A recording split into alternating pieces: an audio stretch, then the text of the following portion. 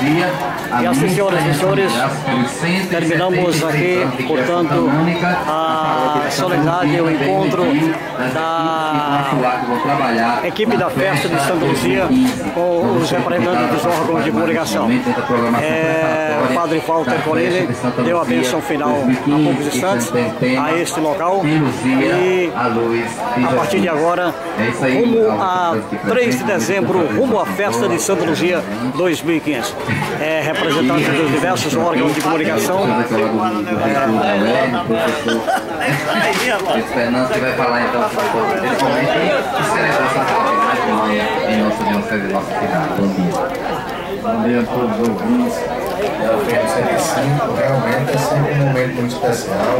A nossa festa de Santa Luzia, aquele momento de agradecimento, momento de paz, de união, de abraçar o próximo, de ver sempre o próximo.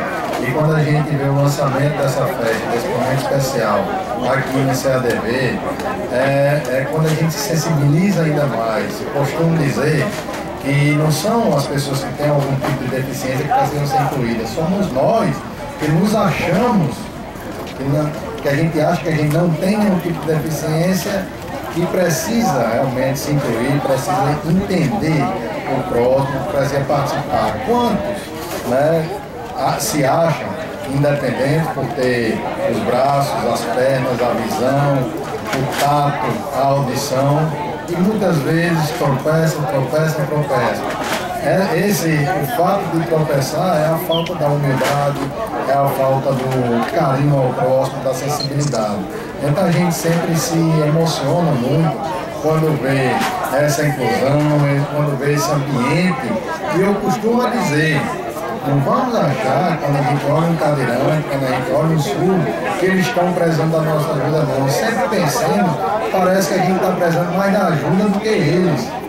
Porque eles já são prova de superação, eles estão aqui mostrando que conseguem ultrapassar limites sim. E nós, quantos de nós aqui somos, estamos aptos a uma pedra no nosso caminho a gente saber superar?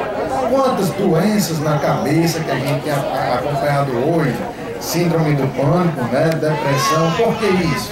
Muitas vezes porque a gente se acha independente, se acha autossuficiente e não procura o amor, o próximo, a fé. Então fica aqui um momento especial para que toda a nossa sociedade, para que todo o nosso estado, país, ele pare um pouco, reflita, pense. E gosto muito sempre de falar o que o Padre Charlie disse, né? Que mesmo nas nossas angústias a gente semeie a felicidade. Não é porque eu estou triste que vão querer o próximo triste, não. Vamos todo mundo querer o próximo feliz, que eu tenho certeza que a gente vai conseguir fazer uma sociedade melhor com expectativas para os nossos jovens, porque tá, às vezes eu imagino que esses, esses jovens eles as portas fechadas. Então a gente precisa reabrir essas portas e somos nós, os atores, responsáveis por dar essas oportunidades. Fica aqui o nosso abraço, o nosso carinho, nossa certeza que a gente vai fazer uma sociedade melhor.